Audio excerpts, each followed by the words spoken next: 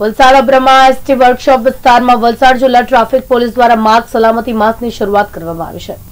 વલસાડ જિલ્લા traffic police દ્વારા ચાર જાન્યુઆરીથી સત્તર ફેબ્રુઆરી સુધી માર્ગ સલામતી સાની ઉજવણી કરવામાં આવશે. આ પ્રસંગે જિલ્લા પોલીસ વડા DYSP V N Patel DYSP Manojsinh Chavda, Valsad શહેરના પીઆઈ વીટી મોરી, વલસાડ નગરપાલિકાના ચીફ ઓફિસર જે વસાવા, વલસાડ નગરપાલિકા પ્રમુખ કિન્નરીબેન પટેલ તેમજ જિલ્લા ટ્રાફિક પોલીસ અને કર્મચારીઓ હાજર રહી આ કાર્યક્રમને સફળ બનાવ્યો હતો.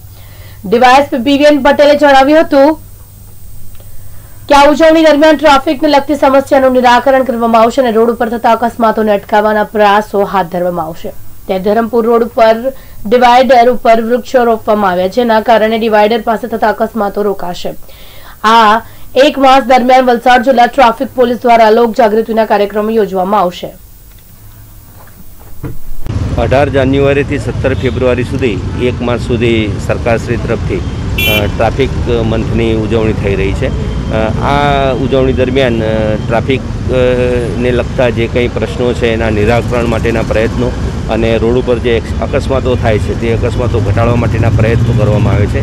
એના ભાગરૂપે આજે આપણે આ કાર્યક્રમનું વલસાડ જિલ્લા પોલીસ અધિક્ષક શ્રી રાજદીપસિંહ ઝાલા સાહેબના હસ્તે ઉદ્ઘાટન કરવામાં આવેલ છે. જેમાં જે આપણો ધરમપુર રોડ છે, ધરમપુર રોડ ઉપર વચ્ચે ડિવાઈડરમાં કોઈ છોડ કે વૃક્ષો નથી.